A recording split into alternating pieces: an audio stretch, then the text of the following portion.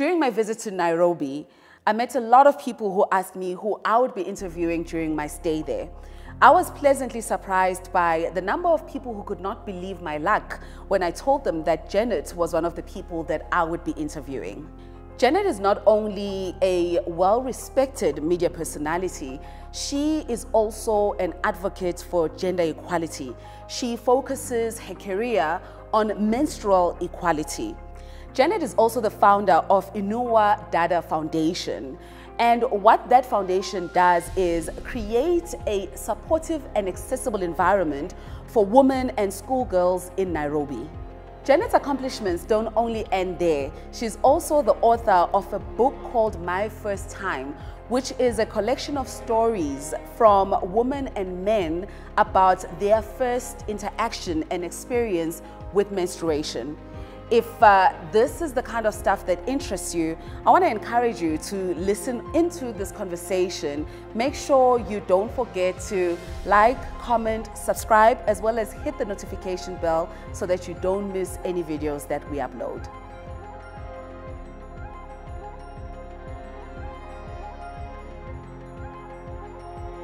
Hello, Women Tribe, and welcome to another episode of Working Smart and Living Well with myself, Nomndeni. I am so thrilled to be in Nairobi. I was saying to someone, I'm just so overwhelmed by like the warmth of the people here. Yeah. I, I almost feel a little aggressive because everyone is just so calm. And I'm just like, okay, Yeah. you take it down a little bit. You don't have to fight anyone You here. can take it down a You notch, it's take fine. Take it down 10 notches, actually. So what a beautiful city. It really is. Generally, I think city. Kenyans are. I think we're generally warm people. I know a lot of people who come from outside, but I was just telling you earlier, we've been through the most. Yeah. So sometimes when people snap, I'm like, no, they're generally nice. They've just been through the most. No, I've been so lucky. I've only Yeah. met really nice, even like at the, the hotel I'm, I'm staying at, like Yeah. at reception, they, they, "Are- you okay? Did you enjoy your sleep? Is there anything we can help you? I was like, hey, listen, I might just move to Kenya. You need to come back Listen, more, oh, absolutely. Yeah, you're welcome. You are That so is welcome. done. That one is done. Yeah. Janet, I am so thrilled to be having this conversation with you. Yeah. I looked at your bio. I looked at like there's a section where it's like accomplishments, and I'm just like, what have you not accomplished? What is it that you Oh, have not thank done? you. And you have such a warm energy. You know, sometimes when you look at people's bios, the actual bio itself can be so intimidating. Yeah. But you have been such a, you know, I, I feel like you're mm. like my girlfriend in Nairobi Oh, now. thank you. Yeah, you also give off really good energy. I think you make people just feel like they're having an easy Ah, conversation. So, and thank you for that. I should add something in my bio, like I'm actually a warm person. I should put a disclaimer actually there. have good energy. I have good energy. Yes, I've achieved a lot, but, But don't worry about that. Oh, really, man. it's such an honor to to have this conversation with you. Thank you. I um, I'm really curious about how you end up being the Janet that you are today. You know, and all the accolades that you've achieved and everything that you have done. Out of everything that you do, which one is your first love? Wow, that is a good question. That's a really good question. I would have to say, ah, wow, Nomndeni. like she just went, she just went in with the depth. I'm like, let's talk about the weather, and then ease in. But that's a No brilliant. icebreakers here. We're going into it. I don't, I think at the base of it, and you'll let me know if I've answered it correctly, I know that I'm really passionate about storytelling because it kind of cuts across everything I do. So whether it's in the advocacy I do or the media work I do, it's storytelling. But my first love has to be my original first love, which was radio, which is in its own a first uh, form of storytelling, um, or maybe more than that, television. It's funny because I keep getting asked, "Are you ever going to go back?" I'm like, probably someday because it is something I loved. I stepped away for whatever reasons. But again, it's a medium for storytelling. Yes. So at the base of it, it's storytelling. Um, TV because it's like my first job.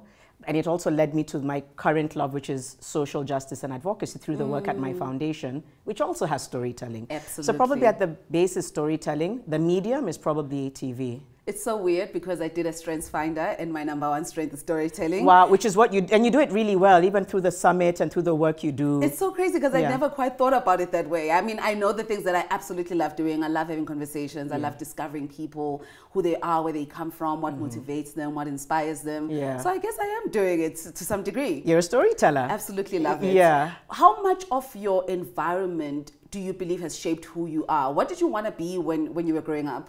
Um, for some reason, at some point, I really wanted to be a psychologist. And I do feel at some point I do want to combine that because it's all about the mind and behavior. Yeah. And the work I do now around um, advocacy or activism has a lot to do with how people view the world and view different gender roles. So psychology was actually what I wanted to do. And it took my former business studies teacher in high school to say, I think you need to do media. Mm. And I was 17. And she sat me down in her office for like 45 minutes to an hour. And she said, I've watched you debating on stage in school because mm. I would do mm. debate club and all of these. She said, I've seen you do verse speaking, which was the poetry club. And she said, I think you have a knack for media. And I oh, haven't wow. really thought about it. Maybe at the back of my mind, watching um, women read the news and that kind of thing. I didn't, but I didn't really think that was attainable. Yes. So she planted the seed, um, and then thankfully, where I grew up and how I grew up with my parents, my dad was very much around. Do whatever you do, just do it well. Ah, I, I wasn't limited to you have to do this. It was do you want to do a you want to be an engineer? Do you want to be a a singer, somebody who goes to space, just do it well. So it allowed me to kind of dream and open my mind. And when the opportunity for media came, I wasn't limited to I can't do it. It was mm. actually, no, you can just do it well. So I do think my environment at school, in high school and at home, shaped the ability for me to allow myself to be. and that. to plug into what I feel I was passionate about without limiting, oh, I'm a woman, I, I don't look the part or whatever it is. So in many ways, I think so. And I, I recognize that that's a huge privilege because I feel like it's the exception, not the norm. Yeah. A lot of people are told you can't, but that was a huge privilege that I had. I really love that idea of do anything you want to do, but do it really well. Just do it well. I think that's really powerful. In, in especially, you know, I'm a parent of teenagers yeah. and they're right at the age where they are thinking about what do they want to do for the rest of their lives. And it's so weird because when I was growing up, I, would, I, I just felt like people must just allow people to do whatever it is that they want to do. But I think when you become a parent, there's yes. so many things that factor into it. I think about their ability to sustain themselves financially. What is the best possible yeah. option? And if they give me a career where I'm just like, oh my gosh, you're going to struggle, and then you want to, I start to panic. Yeah. So I really love the idea of shaping people, uh, particularly young people, mm-hmm. to have this uh, mentality of whatever it is that you do, just do it well. I like that. And what you've said though is so valid because you know, as a parent, mm. whenever you, when you become a parent, something switches. You're like, Absolutely. You're like, are you sure you want to do that? Absolutely. I'm like, I can't believe I'm this person. And I was the one. I had a friend. I was having um, a discussion with her the other day, and her son is now much older. But he one day told her, "I want to do football," and she's like, "What do you mean you want to do yeah. football?" She said, "Play it in your spare time." Yes. And he went to you no eventually he told her i really want to then he gave her a plan now when he was in his late oh, teens wow. and now he has two degrees in football football, I think coaching, and he also does data analytics. Oh, wow. But, you know, so she told me, she again was much like you. She said, mm. I had always thought my children can do anything until yes. he told me he wants to do football. then I was like, in whose home? Yes, yes. So it is very daunting. Mm. Um, so it's almost like if you do want to do something that's a little bit off off script or off yeah. the cuff, maybe it's to find out what opportunities are there in that mm. space. And then if there really aren't, it's to try to be like, do you want to maybe maybe can go this just, way. Can yeah. get a business degree and then you can do that? But it's a very valid, it's a very valid concern. When you, you mentioned earlier that uh, you are not so present in the media space anymore and you have this focus on your foundation now, what inspired the transition? And were you not scared? Uh, I think also, I just want to contextualize that. I think also when you've done particularly well in, mm -hmm. in one area, uh, transitioning is, is difficult. It almost feels like you're studying again. That's true. That's really true. Was it scary? Yes, it was. It's interesting because I think I left TV. At that time, I had a certain reason, and then in hindsight, I realized exactly why I did it, which was, I think, there was so much happening in my life that I didn't realize was affecting me mm. and affected my decision to step back. Because, yeah, even my bosses were like, What do you mean you want yes. to? And I told them, and I still hold it. I say, this is not goodbye. This is see you later. Yeah. Because I said, I think I'll always come back to it because it's not, I'm not done. Mm. Because I kind of left a little suddenly. But I took six months to process before I resigned on air. Yeah. So I'd already talked about it with my family. I'd already kind of mapped out what I'll do, but I was still very scared because mm. I'd only known that for 10 years. I literally was a news anchor for 10 years straight. Oh, wow. Um, and on the 10th year is when I said, I need a break for various reasons. Some were personal, but some were I wanted to really invest in my foundation. Yeah. Now, what inspired my foundation was again through media. Mm. I did a, I used to host a, a, show every Monday called Monday Special. It was like a talk show. about social impact and social issues, whether it was from health to social. And this one story changed my life. It was called uh, Periods of Shame. And Periods of Shame showed two girls in Marigat, which is in Baringo County in Kenya. They were using chicken feathers and goat hide because they didn't have sanitary towels. And I think it shook me to the core because I couldn't believe that that was happening. So first of all, it was a big deal to have a story like that on primetime news on the most watched station in the region. And why was that? My, the, COO, the COO at the time bulldozed and she said, I want this story to run. Everyone in the newsroom was like, you're going to talk about periods on air? So there was just the stigma around periods, number one. Number two, it's primetime news, mm. which is viewed a lot by, you know, whether it's men or whatever yes. it is, older yes. men, women. Yes. So it was a very big disruption but it actually changed the landscape of menstrual justice in the country because mm. suddenly a policy started being developed more money was allocated that's why i love storytelling because yeah. it can literally shift something so that introduced me i was so triggered by that story the country was outraged it trended on twitter for like two days straight i told my boss we need to do something she's like my god you've been at my office for two days you figure out what to do mm. so that's when i came up with inua dada which is uplift a sister and it was really to raise enough sanitary towels for the girls, but also to lobby for a bigger budgetary allocation. And then it never left me. Oh. So that's how I, the initiative then became my foundation. Like the station literally handed it over to me because I wouldn't shut up. They're like, you're at our door every day. Here, we've signed it over, go register it. And that's where I found myself. And then I, it's been, a, it's been almost, gosh, it's been almost 10 years now. And then through that, you begin to learn so much about the different intersectionalities mm. with gender based violence, economic empowerment. And so it never left me. And it just kept me hungry for impact on a policy level and impact on an intervention level. Mm. So really, I was introduced to social justice through my work as a journalist. Because oh, wow. you, you come across so many stories, right? Yeah. Good or bad. But that stayed with me. Because I was like, I get my period every month and I don't care about, I just go grab a you know, packet off the shelf and you mean there's, at the time, I was like, there's two million girls who don't go to class because of this? I was forever changed. Oh, wow. So that's what led me to doing it.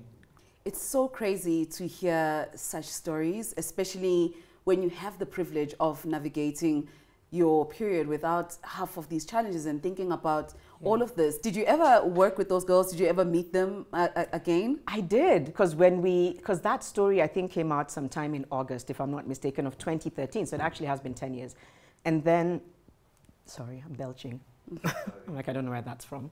It's not like I've eaten much. TMI. Sorry, let me focus. this is being edited. Um, so what happened is the initiative grew so much. I think because the station was sweet enough to be like, you can run the initiative on TV and get people to donate. Oh, wow, that's amazing. It was so amazing. Oh, they were amazing allies. So the First Lady's office got interested. And so we decided, why don't we take sanitary towels to that region, meet the girls, meet her peers, donate, do a little bit of an event, and you know, kind of mark that moment. So mm. we did go to Marigat in November of 2013. The then First Lady, who just started her term at that time, she came. So it was quite a big event because then the members of parliament from there were there. Some of our fellow news anchors were there. So it was a pretty big event. And then we met the girls, didn't interact much with them.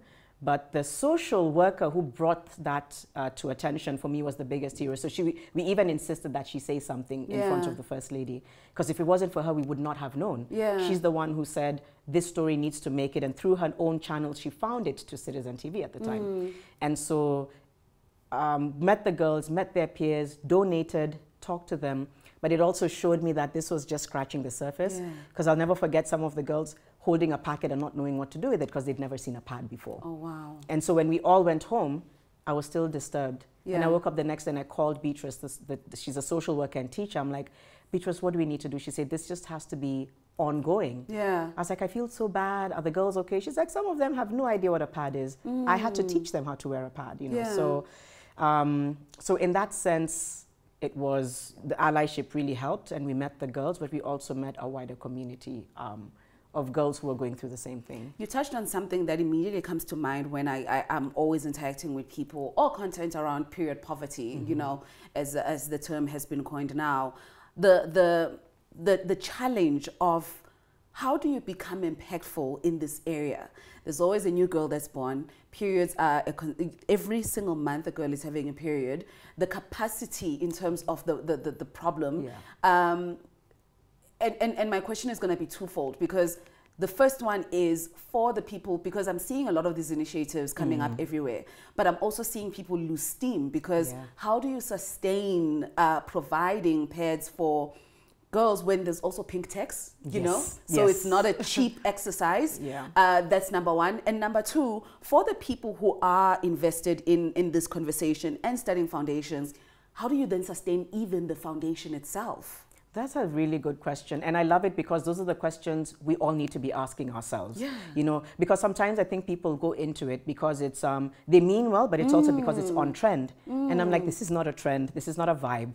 This is actually, you know, real life. But I think the sustainability comes in one or two ways. Number one, governments need to integrate menstrual health and sexual reproductive health and rights as like a national agenda. It needs to be integrated as a developmental agenda, meaning that you don't silo it to say, oh, there's that periods thing. It's to say sexual reproductive health and rights needs to be a core part of our programming from the time that children are young, boys and girls, meaning that we put more resourcing behind advocacy, more resourcing behind um, communications and impact and empowerment. Then, on the other hand, which is probably a bit more complex, even though some countries like Scotland have achieved it, is making these products as available to the point where they're even free. Yeah. Now, I say it's complex, obviously, because it comes down to whether it's the GDP or whatever it is that needs to be thought about. But ultimately, if you don't do that, period poverty will continue to exist. And Scotland had to sit down and look at all the parameters, look at how much productivity was being lost out in the workplace, look at how many girls were missing out of school and how that was essentially affecting lives. And then mm. they made the decision and said, we're going to actually make these products available to everyone who menstruates. Yeah. It's bold, it's new, so we also have to kind of see how that plays out. But if we don't have a developmental agenda and a policy that says we need to provide, we need to provide through creating, making sure that the government is resourcing or collaborating enough to provide and sustain. Right now, it's very lukewarm. Menstrual Hygiene Day, everyone in the world is like, yes, we need more. Yeah. But it has to be such an intentional, consistent agenda.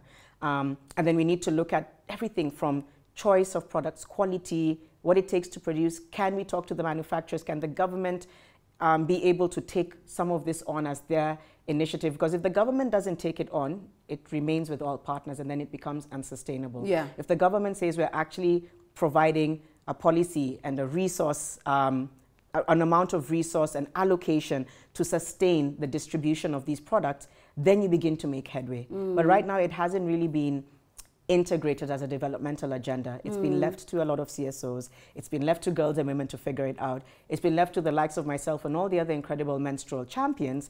And yet you can tell by being on the ground what needs to happen Yeah. and by other what other countries are doing. So we still have a long way to go, but we can achieve it. We just need the goodwill to say we're going to resource this. We're going to make sure that there's enough that goes into research, that goes into um, sustaining these projects, that goes into creating um, advocacy and communication, even even with the Kenya Institute of Curriculum Development. Let's integrate it as a communications tool, even from school. Yeah. But it has to be owned a lot by the government, and then they collaborate with partners. I can't say they've done badly. I know we had a the Basic Education Act in 2017. There was a part there that said pads need to be free for every girl in public school. And for a moment, there was distribution for three months. And they're like, so what must I do on the fourth month? Because my period is still going to come. Still gonna come. So there was that goodwill of like, let's have this in the law. Let's make sure that girls are. But again, to your point, how long are you going to sustain that? Absolutely. If you're still, to your point, having things like pink tax, the tax was lifted in 2010. It didn't reflect in the products. We were the first country in the world to lift tax off period products. Kenya. We're like the poster child for policies, by the way. Ah, we have the best policies. Mm. Ask about implementation. And, and where's the challenge with implementation? I'm, I'm gonna. I had Very another good. question, but I mean, because you know, I, I, I in, in, in particularly work that has to do with um, gender specific challenges, I find that when I have conversations with people, they are not at the forefront. They don't seem. Um, it's, it's not. It's not big enough of a problem Yeah. particularly when you think about some of the challenges that African governments are facing. You mm. know, you start with the basic one, just poverty. Yeah. Just feeding a person mm. who, who is in the continent and, and does not have the ability to um, create revenue that allows them to, to live well, mm-hmm. you know. And then you stack that up with, in, in, in certain countries, whether that is in the States or in South Africa, then there's, there's race issues, you know, how do we get more black people in specific areas? And, and it always feels to me that these gender specific dilemmas and challenges take a back seat um, you know when, when when people start to stack it up that way. So first question um, what are the challenges when it comes to implementation that you have seen? Um, that's number one. Off the context of what i just shared and then number two i want to better understand when you uh, engage with different people in, in, in, in, in, in this particular space, what is the state of Kenya if this is not addressed? Because I think that perspective starts to illuminate the urgency of some of these issues being addressed. You know why your second question is so important?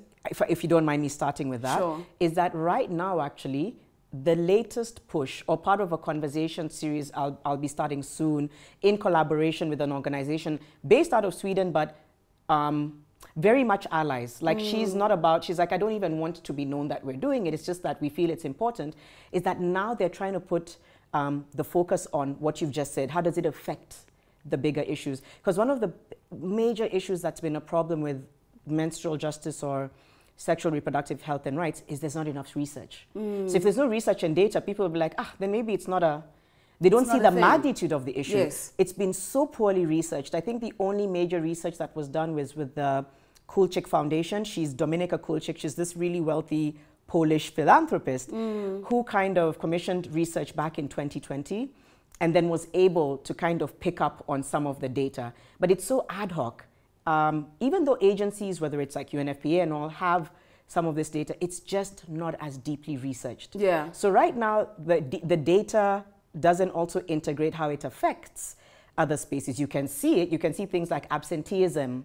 You can see things like violence in the home because of ETC, but it hasn't been deeply, as deeply researched. And so this new push uh, for the next few years is they're trying to angle the conversation on can we resource research to get the data, and then can we also um, resource interventions? Yeah. So it's really great that you've asked that question because that's kind of the angle this collaboration is trying to take. So it hasn't started yet, but we've already had those kind of preliminary conversations because again, she was saying the same thing like for how long will we make noise? Yes. We need we need the numbers so that the numbers can show people this is what happens to a country. Yeah. You know, this is how and it shouldn't even be about the bottom line, but it's okay. Let's let's Yeah. give you the Yeah, outlook I mean, of the bottom I- line. And, and I think when you think about institutions, we live in a Yes. capitalistic world. Yeah. Right? People are always moved by Yeah. what am I losing Yes. if I don't solve this problem. So if I don't park the car Yeah. in the garage and it gets dented, then I have to pay for insurance to get it fixed. So I think that's the psychology of people a lot of times. I see it so often uh, when I speak to um, particularly men in powerful positions, and not because they don't want to help, Mm-hmm. because in a way that's how their their thought processes Exactly. are conditioned. So to get stuff done, you kind of need to contextualize it on the basis of if this girl does not have, uh, you know, sanitary pads, Yeah. this is how many girls are dropping off from school. Exactly. This is the problem that the government is going to have to face with people who are unemployed. Yes. That's going to affect them. You know, it's kind of that's the Oh, yeah. narrative that I think um, becomes. Um, Needs to be front and center. it needs to be front and Yeah. center, but it also grabs the attention of, of, of, of leaders. It's the same way, I believe that there was some research that said we spend in Kenya 46 um, billion. Then I say that they're like, no, Janet, I'll check. You'll strap it. But I think it's 46 billion shillings is spent um, on gender based violence in Kenya. That's on everything from um, um, basically as a result of whether it's medical issues, whether it's justice, whether it's so imagine if you had preventative measures, you'd be saving this much money. Yeah. So you see, it on something else. There you go. So we almost need a similar approach, which is because girls and women don't have access to sanitary towels, they drop out of school. There's been a lot of sex for pads, which leads to teen pregnancy. Then you have a whole other issue around the burden of teen pregnancy, uh, child protection, crime. So we can see, we know the landscape because we're on the ground, but to your point, we need to now give it meat. Yeah. We need to really do a deep dive into the meat. So it just needs to have that backing. And if there is, and somebody comes up in this comment section and says, hey, listen, there's this data, fine, but we need a really global centralized push Yes. and data from different countries. Yes. So I would say that is, I think, the main reason why it hasn't been. It's almost looked at as a trend or that woman's issue, but it's not. It's bigger than that. Period poverty costs families, it costs women safety and girls. Yeah. In terms of the implementation, there's not enough coordination. There's not enough coordination or direction in terms of implementation. So we launched the menstrual health policy in 2020. I remember it was smack in the middle of COVID. And then everyone's like, okay, so then who does what? Yeah. I'm like, you didn't think of that when you were launching. So coordinating bodies or committees, and I know we like things like Kenya likes this word task force. Oh, okay. It's a very when you hear task force, you're like, oh my god, there we go with another task force. And then the task forces sometimes are rife with corruption. But that's what it needs. It literally needs a coordinating body um, and a lot of these policies. They just need commitment. They need Yeah. follow through. And they need the government to support. So the government, like I said, the former president did his thing. He said he's committing 2.6 billion shillings or you know 2.3 million dollars to fight gender-based violence. They're going to have a survivors fund. They're going to have safe houses. But that's goodwill. And the rest is like you guys need to figure out how you're going to make this. I've done my bit. Yes. But then it's still, you sign it, but then there needs to be even government assisted coordination in terms of this is the way we'll do it. Mm. So that's lacking. And that's also what I was talking about, you know, moments ago with, with, with a group of people is that there's just not enough coordination, even access to justice. I moderated a, a session on that last year, and it had people from the judiciary, it had people from, you know, um, lawyers and everything, and all of them were saying the same thing. There's no coordination. It's not well coordinated. So you have a victim who comes in and says, I've been molested, I've been raped. And then first there might be re-traumatization. What were you wearing? What were you doing? Number one. So they're not trained. Number two, you're told, go there, fill this form. They go there, they're told, the form is not here, it's there. So you get, t- by the time it's three hours, you're like, what are you guys doing to Yeah. me? Then by the time you have a case, it's delayed for three, even three years, a year, mm. because, the ju- because it wasn't in the docket. So now there's the first SGBV court in Shanzu in Mombasa. It's the first of its kind in Kenya, which is great, mm. but it's under-resourced and understaffed. So the problems just keep coming up. So there's no coordination. The files get lost. Who was manning that file? I don't know. I thought you were manning the file. Mm. Guys, you know, and then the, the behavior change. Nomndeni, it starts with here. Yeah. A lot of people have socially normalized issues that affect certain people. I'm so glad you brought that up. They're just like, but you must just suck it up like other people do. It's not that mm. much. Like, go home, figure it out. So it has to start there. Let's start with talking as men and women. There are men who are also looking for safe spaces, but they feel emasculated about Yes. saying it. They're like, I'm dealing with a violent woman. Yeah. Where, where do I go? Yes. Um, but they won't say that. Or so sometimes when they hear us saying, save women, you'll hear a lot of pushback of what about men? Yes. I'm like, but it's not what about. It's like, and what about, and let's talk about all of us. Yeah. So we need to create the spaces, the safety, the conversations, the dialogue. There's so much screaming and shouting happening right now. Mm. Everyone is screaming at each other. Yeah. Yeah. Yeah, so it affects all facets of life. It even affects implementation. Because somebody who's sitting up there will be like, you guys are so skewed. We shouldn't let this go through Yeah. until you integrate this and this thing. So it's such a, this thing is long game.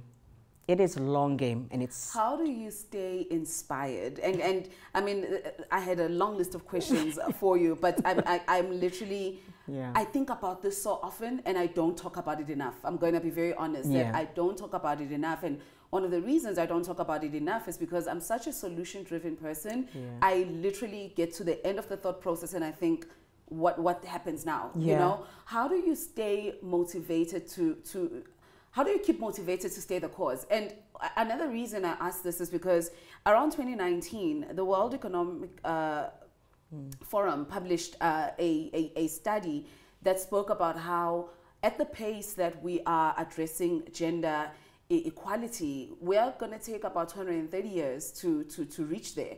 And i remember when i started agenda woman although it wasn't really about uh, gender equality what I wanted was to empower women economically more than anything. Yes. Right? It was about how do you create environment, communities, content that helps women better navigate some of the challenges that they're helping that prevent that from happening. But I also had to uh, make peace with the fact that the, a, an idea of a society where women are economically empowered I might never see in my lifetime. Hmm. Because I, I had to make that peace. Right. I had to get into the job and know that I will not see the results of what I'm trying to build, but I can start and maybe someone else will take over.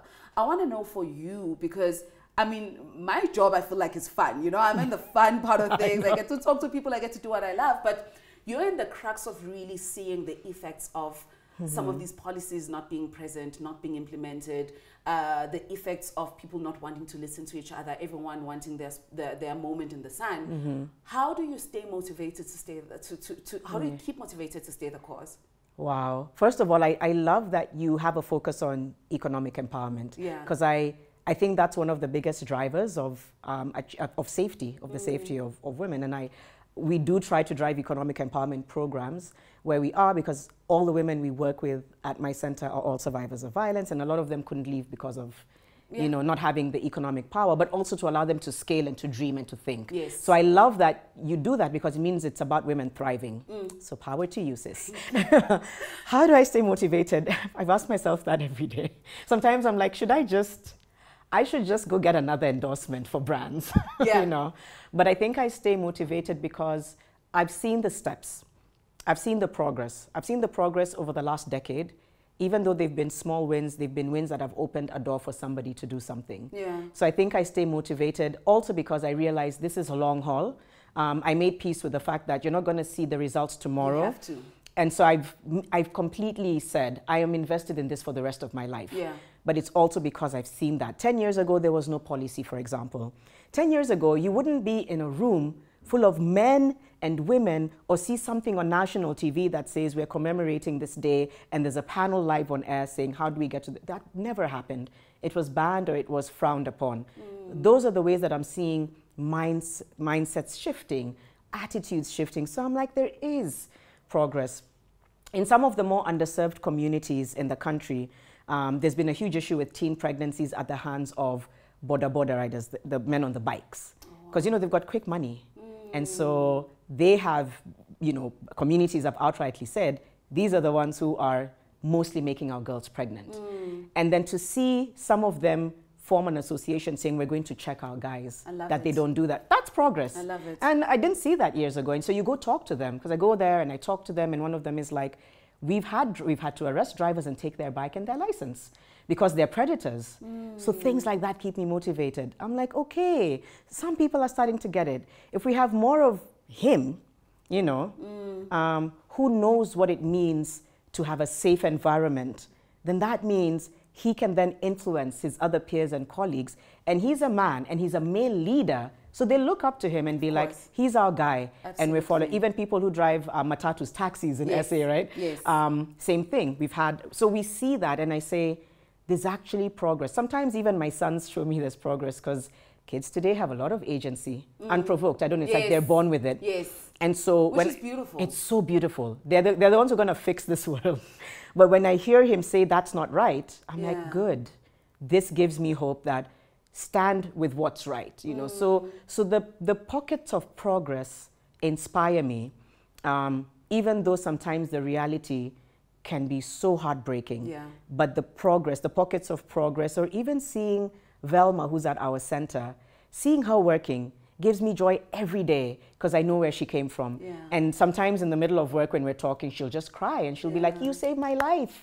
This program saved my life because I was going." So that gives that keeps me going. Yeah. The the heartbreak is just scaling it and getting people to say that. By the way, storytelling and advocacy needs to be funded because it makes a difference. It makes a case for progress. Yeah. And people not really understanding. So those are the things that you need to kind of um, tell people to think differently. Yeah. I'm like, you also need to resource the documenting programs like this, you know, which kind of allow for the conversation. And of course, hoping that governments have the same steam, Yeah. which sometimes they don't. Mm. But that keeps me going. The pockets of progress keep me going. What does empowerment mean to you? Nomndeni with her questions. and then there was no time to prepare. I'm like, I mean, just like you mean, I mean, you're right at the crux of you know the the the, the work, and you're seeing uh, disempowered people. yeah. Right. Um, mm. maybe the, the, to contextualize the question, mm. I should say, when do you feel most mm. empowered? And, and, and, and how does that translate to seeing empowerment yeah. in, in, in, women? No, your question was good. Yeah. I, was, I was just like, you go deep. I love it though. but I realized for me, empowerment means having choice. Literally. Okay. it's having, because you see people who don't have choice and options. Yeah. So if I can come here, drop my sons at school, and come here and have this amazing conversation with Nomndeni, and then go back and check in on the center, and then go do a distribution exercise, and then still go have coffee, and then tomorrow choose to invest in land, and then even choose to speak and pick my outfit. Oh, that's empowerment. Mm. It's choice and it's options. And I think the reason why I think what you push for is beautiful is because you're giving people permission to make their choice. Because yeah. without the economic resource, they cannot make a choice. They have to stay in that triggering, dangerous situation. Or they can't dream as big as they, they want dream. to. They can't invest in one of the women who works with us. She's a, she's a, she's a flutist. She plays flute because she has the choice. Now she has the choice to be like, oh, I can even invest in my own flute. Cool, awesome. She didn't have that choice a few years ago. But because now she's able to make an economic choice. So that for me is empowerment. And no matter what we say, it comes down to having something in your pocket to give you the choice.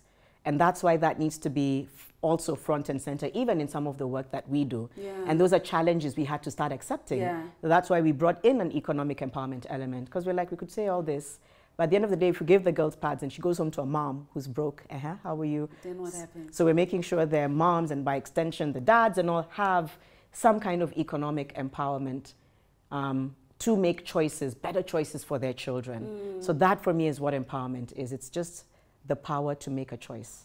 I'm so glad I wore my glasses for this conversation because so many times I've become teary eyed. No. And I'm so glad, and like when you're speaking, I'm just like, come back, come back, no. come back, come back, come back. Yeah. That was such a beautiful answer yeah. in, in, in, in the sense that it also illuminated for me how, how, how hmm. vast the capacity of the work that we're doing is. Yes. The ability for someone to have a choice and the autonomy yes. for someone to decide what they want to do today. There you go, autonomy. Where they want to yeah. go. Because a lot of people don't have it. They don't. You're told you're told what to wear. You're Absolutely. told where to go. Absolutely. But let's let's give them let's give them the choice because a lot of the time, um, you know, not discounting the decisions men make, but women make really good decisions even with with ten rand or, or hundred shillings they'll make a really good choice.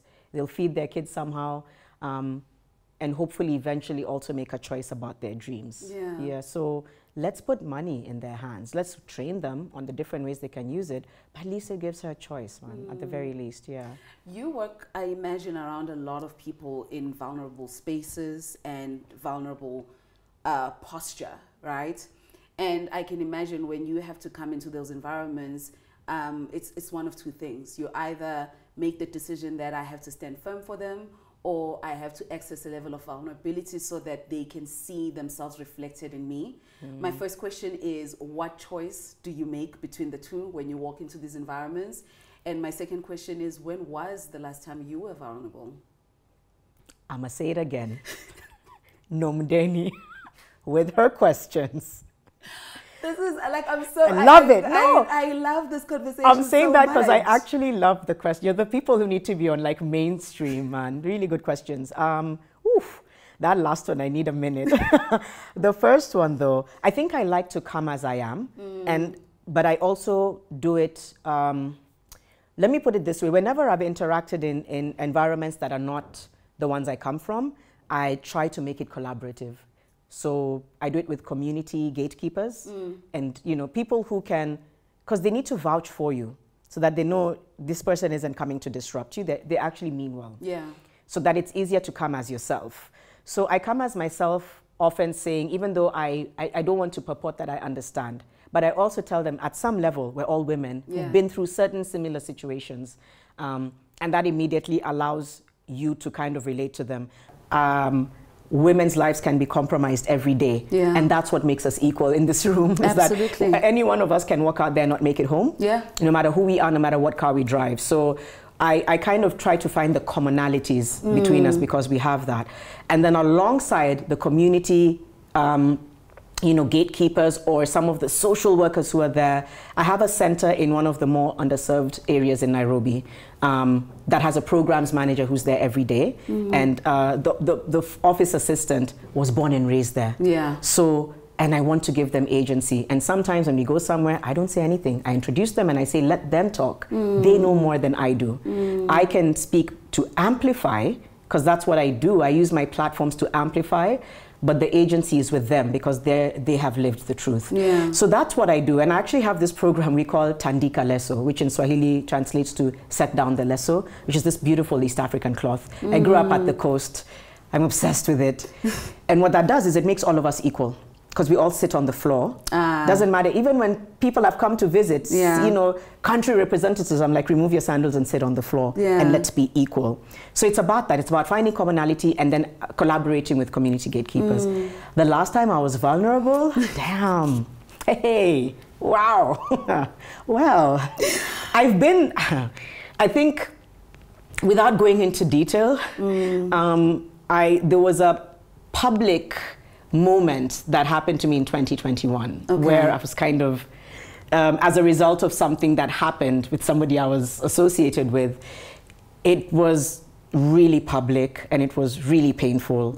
Um, and even though, as Janet, as a person, I've also not been good at being vulnerable publicly, maybe because I've done public work for long, so I've had to keep it together all the time, which can be very detrimental. Yes. Because it's like you're always putting on like, hi, how are you? Welcome to Very performative. very performative. Yeah. And I internalized being performative. So even when I was struggling, I'd be like, I'm fine. Yeah. like I'm dying inside. Yeah. Became a mom that helped a little bit just Yes. by being vulnerable. And then was dealing with, with something that was difficult. And I didn't know I was dealing with it.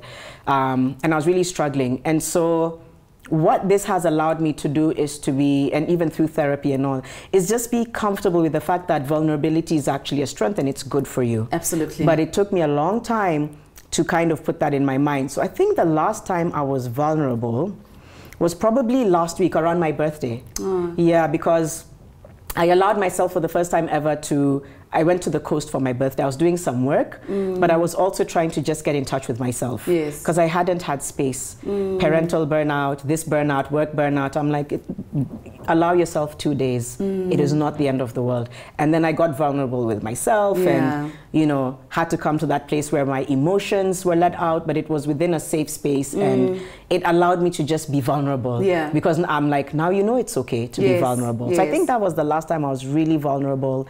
Um, sometimes I'm vulnerable with my kids because they'll ask questions from left field that I don't see coming. Like, Yes. Mom, do you cry? Then I start getting teary eyed. Yes, yes, Mom, yes. what makes you cry?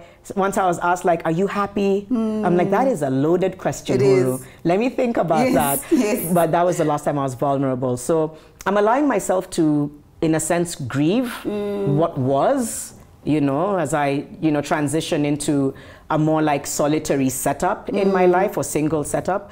But it's to just grieve what was and, Yes. and the dream that you had. Yes. And to say it's okay to dream, it's okay to be vulnerable and to grieve it, but it's also okay to use that as a way to process and then kind of find your new normal. Yeah. And be excited about your new normal. Yes. And I'm really blessed to be to know people like a lot of the women you've been talking to here Yes. who are also very um, have a lot of wisdom and sometimes i sit with them and one coffee with them empowers me for like the rest of the year mm. so yeah and also being vulnerable with god my my journey with faith has also taken an interesting turn Yeah. because now I'm like, oh, I get it now. Yeah. It's about a relationship Yes. with God. Oh, I get it. Yes. So, so now it's about going to God and saying, like, good Listen, morning, it's me again. Yeah, yeah, yeah. you know what I mean? Did you, do you remember what we spoke about? I'm Here is my list. I'm gonna need to move a little quick on that one. you That's know, funny. I totally get Very, it. so- I absolutely get it. So even my faith, um, it's keeping me a bit more focused. It's giving me a lot of perspective. I, I, I get that. I get it. it. It's so, I- I don't know what is happening in the world around um, women gaining autonomy mm-hmm. and making decisions that allow them to figure out who they want to be in the world.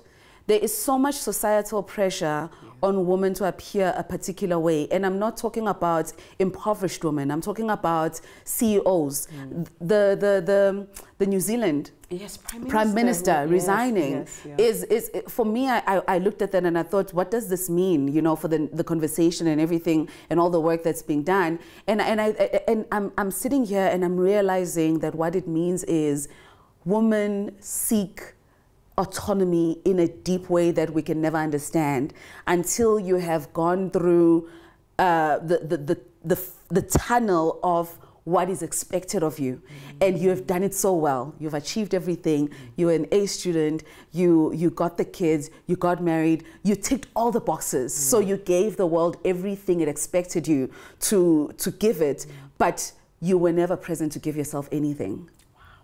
and i think i see it so much with extremely successful woman because to navigate success in the world is to define it as the world has told you it is. Mm. And once you get to a point where you recognize, I actually have the power to do this thing, but now I'm rediscovering that I have a power to do something else. Yeah. And, and, and the feeling of power that comes with that, the ability to say, I am extremely feminine, but I can also take up the masculine when necessary. Yeah. But actually, I don't want to be masculine all the time yeah. because that's just not fundamentally my makeup. Mm -hmm. So mm-hmm. I think the way that you've expressed it is so affirming for myself and many other women who I know uh, watch this podcast who are going through similar transitions mm -hmm. or asking themselves those questions of is this really it? Right. Is this really it? I've given the world everything. Yeah. I've been a great mom. Yeah. I've given the kids. I've, you know, I've been a great makoti. Yeah. You know, I've ticked all the boxes, yeah. but is this really it? Yeah. And is my tank still full? Yeah. Probably not. Yeah. Our tanks are running on, a lot of us, a lot of women's tanks are running on empty. Yeah. Or just to your point, first of all, you've captured that so beautifully when you've gone through the tunnel and you've given and you've succeeded. Yeah. But you're still like, there's still something in me that's that's different. Yeah. And an interesting thing about our agency and autonomy is the more that we have, the more persecution we'll see. Mm. And I keep telling people this. When I was at the UN last year in New York in November, a few of us were called there to talk about activism work, etc. So you have these college students come up to you and be like, that was amazing, what do I need to do? Mm. And I remember telling them the first thing you need to do is you need to protect your agency. Yeah. Because you're here, you're 21, 22, and I can tell you're passionate about this. And I can tell you that the more progressive and empowered you become, the more of a threat it is to society. Mm. So the biggest thing now is how are we protecting women's autonomy and agency? Because it's been it's been fought a lot. Yeah. Because it's not the norm. It is being fought yes. a lot. Oh, a lot. There is so much underlying resentment. And I keep telling people there's going to be a nuclear war, guys. And I keep, so people are like, what do we do? I'm like, we're going to strip it down and go back to dialogue. Like, we're going to do all the unsexy things we need to actually just talk. We need to talk. Even those guys who want to explode, we're going to have to listen to them. Yeah, you know, absolutely. Because if we don't give them the space to say why it's a threat, yeah. why they are bothered by yes. the, the audacity of our autonomy, yes. if we don't give them that audience, they're going to breed resentment and absolutely. project it in a really bad way. Absolutely. That's so, so powerful. Yeah, we have to protect the that autonomy. That is so powerful. Even of children. Yeah. Children are, have a lot of agency now, and you don't want somebody to be thinking, this one with their mouth. Mm. It needs to be guided, it needs to be molded and encouraged so that you don't end up erasing them or, or diminishing them simply because they had the audacity to ask why. Yeah. So, so agency is, um, is a threat in a very patriarchal world and society. Absolutely. Um, so we need a lot more, I think, gatekeepers of patriarchy who can be men and women mm. to kind of know like it's not about it's not it's not scary. It's beautiful if everybody can express themselves. Yes. You don't have to agree with it but there is a power dynamic. So but it's true what you're saying is that it's a beautiful season to be in when you can before you've even reached i don't know 40s or 50s to say I want to do different for me. Yes, it's such a gift. Absolutely, you know, it is. Yeah, it, it is. It takes a lot of courage, and if you can access that courage and make yeah. that decision, uh, uh, the other side is really, really blissful. It really is. It really is. I want uh, my last question. I mean, I could, I could speak to I'm you. not ready to go no She's gonna have to kick me off set. I can speak to like you forever. like it's, it's the, the. I, I think the depth of commitment to the work that you have allows for such a illuminating discussion oh, that is empowering for people who want to act, for people who want to do something, Right. to kind of figure out, oh, where can I plug in, and is it enough? I, I can, I can, I can safely say for myself that's how I feel at the end of this conversation. That actually all the things that I'm. I have not been able to access because I am not on the ground. You've given me access to, and for you having navigated this beautiful, beautiful journey. Yeah. I mean, I don't know a lot about your life, but there is a feeling of um, see, me seeing myself, number one, in you and in your journey. Oh, thank you. And um, I want to know what has been life's biggest lesson so far for you. um, that character development will be met. like that premium character development will, can shape you. Um, I, I say it lightly, but it's so true because a lot of things come your way very unexpectedly and you have to pivot. Yeah. And you either spiral or you survive it Or you bloom. or you bloom. That's really well said. You either spiral or you bloom. And it can take one thought process to send you in either direction. Um, so I've had to learn, as much as it's been said to death, I've had to learn how, what it was meant for, which means sitting with it for some time. I've really learned to give myself the space to sit with something, um, which I didn't used to do. I was so, my life has been very fast paced and I Yeah. loved it Yeah. like I'm like, what is the next project? Yes. What's the next job? And I was a breaking news anchor, which meant Yes. you run on fumes because at any given time you're having lunch with your family and you're called to studio. Yes. So my life lived was on adrenaline and I loved it. Um, and then suddenly you have to you have to have conversations with yourself. I did a video about this a few years, two years ago or three years ago, and during COVID, I remember I put my sons to bed at 9 p.m. and I sat down and had an AGM with myself. I poured wine and I took a notebook and I said, "You're going to have a conversation with yourself, and you're going to face really ugly truths that maybe you haven't wanted to face. You're going to have to figure out what your toxic traits are." You're gonna have to figure out how you want to heal. Mm. And that's the greatest thing I ever did. Yeah. So life's lesson has taught me that it's okay to sit with yourself. It's not easy. Yeah. And it doesn't mean you have to be hard with yourself. Yes. I, I tell people I chose a time when I was relaxed and in a good and being kind to myself. And with a glass of wine, that always helps. That always helps. I haven't had one in a minute. I think in like over a year. I haven't had a drink in over a year. It's a whole other story. But I was being kind to myself. Mm. I was choosing, Janet, coddle yourself in this moment. Yeah. Don't deride yourself. Don't put yourself down. Just have a very honest conversation about yourself. Mm. Like, have an honest come, coming to Yeah. why do you have this habit? Why does this pattern persist? Where do you think this is from? And then I was able to, because even in navigating the space I'm in, there was a lot of conflict and fighting. Some people were like, she's doing it for clout. Yeah. She's doing it for likes. Um, she thinks she's all that. She's an imposter. She's not even doing it for the right reasons or whatever. She's performative Yeah. because of the TV thing. And so even if you're making progress, you're fighting a lot of opinions. Yes. And I had to actually ask myself questions like, why are you doing the work you're doing? You could be back on TV. You still have conversations and openings with all these media houses because I've kept, you know, thank God I've kept really good relationships with them where they're like, if you ever want to have the conversation, let's have it. So why are you doing what you're doing? Is it for clout? Is it for? And I was like, no, there's no way you can be more broke than you've ever been.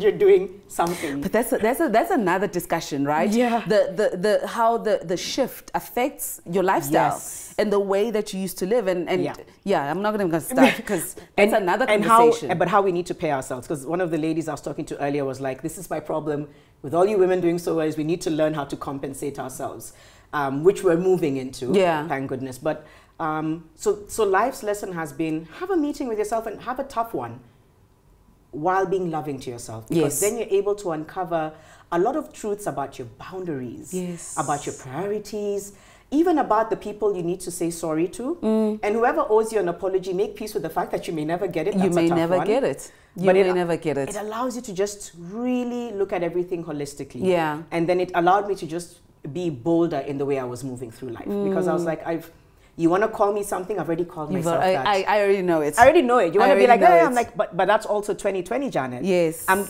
for some reason, you still want to be there, so you can still think that's who she is. Yeah. She's now in 2023. She's evolved. You don't want to hear it, but that's fine. Yeah. So it just allows you to live your truth unapologetically. Um, and just also really thrive through your mission. Yeah. But that's the biggest lesson I've learned. And I always tell people, please sit down with yourself, heal your traumas. My God. You're there thrown for people who will develop your character. Yeah. Give them the gift of healing their traumas. Be like, here is a free pass to Yes, therapy. yes. Here's a resource. Here's a helpline. Yes. You know, whatever, whatever it is. Yeah. Have that. Have that moment to be very honest with yourself. It even helps you figure out your finances. Mm. Allows you to thrive. You're like, I can now do the business. Because there's I want to trauma there as well. There's trauma there. There's trauma there Yeah, as well. So that's the biggest lesson I learned, and all of it kind of centered me right back to the root, which was my lifestyle is now more of centering God. Mm. It is by no means about me being a holy girl because I have done some very unholy Yes. things. Um, but it's about saying that's what I've chosen to do. I have to figure out how to strengthen it, Mm. even though it, it doesn't matter. The people in my circle are so broad. I know people who have chosen lifestyles which people would frown upon, but I still love them. Yes. I don't want to force myself onto them and my beliefs. But I was like, then what do you believe in, Janet? You're being swayed here and there. What what do you believe in? Yeah. And I realized I think I believe in the faith that I've always followed. I've always been very lukewarm. Mm. And I think I'm still lukewarm, but I'm getting there. Now at least I've asserted that this is what I believe in. Doesn't have to be what she believes in. Yeah. I have friends who've chosen very unorthodox ways of life. Yes. But I still hold space for them. Yeah. Um, don't come to me and be like, you can't be that person. I'm like, I still love. It's cool. Yeah. We'll disagree, then we'll move on. Yeah. Um, so that's what it makes you do. It just makes you say, like, I'm gonna stand firm in this choice that I've made. Yeah. You may want to judge me, you may want to question it, but it's not harming anyone. Hmm. Um, and I'm just gonna try and hold space for people and continue to hold space for my healing and thriving. Um, and allowing myself to enjoy life again. Because for a moment I wasn't. For a moment I was really depressed Yeah. like really, really depressed. And I was like, okay, you've done your moping. I, Yes. I gave myself time to mope. Yes. Oh, yes. yeah, That's did. important. very important. That's very I was important. like, oh my God. And I'm like, okay, you've moped. Good, good, good. Yeah. My life is horrible. My life is horrible. Everything that's happening is the worst. Then God gives you the privilege to mope Yeah. by a, like, by a beach house. Yes. I'm like, yes. this is, And then you're this like, is a "Uh, gift. Actually, I'm waking up in the beach house. But yeah, Right, it's it's it's, yeah. it's so important. Janet, thank you. I, I can't. I can't express my gratitude enough for number one, the work that you do and how many lives you're impacting now, but also the lives you will impact through these conversations and through this extension of storytelling Oh, in itself. I I had no idea when I came to Nairobi what kind of conversations I'll be having with every person that I'm going to be having a conversation with. And this has been empowering in a way I, I can't express with words, but I know you will see in, in, in the actions that follow. You know, Oh, my you. privilege is to be able to access minds like yours, you know, through this platform. I've really enjoyed this conversation. I think you asked really great questions. Thank you. like- oh, well, for the news anchor, I think, I think that's good. I'm like, I'm gonna go home and have another meeting with myself because of Nomndeni saying like, tell me about empowerment Oh in life. gosh. But thank you for the opportunity. Thank you. Yeah. Thank and you. welcome to Kenya and welcome again. Yes, we I love having you here. definitely be back. I will definitely be back. Thank you so much. Okay, thank you. Oh,